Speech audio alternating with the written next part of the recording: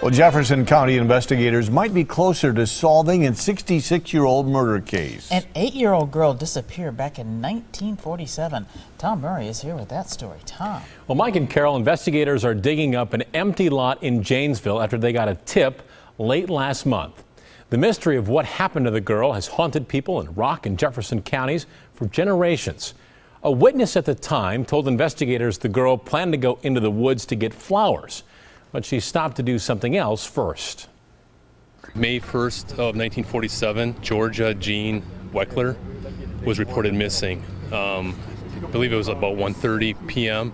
She was last seen getting uh, mail at the end of her driveway in rural Fort Atkinson. My husband went to school with her for a short time, and so did her uh, his sister, and that so they kind of knew the family, and that so everybody everybody's been haunted with that story forever and ever and ever. Yeah, canines hit on the scent of human remains at the lot in Janesville, but so far there's been no evidence of Georgia Jean Weckler found there. Mike and Carol? It would be nice if they could resolve this so the family could get some closure. Thank you, Tom.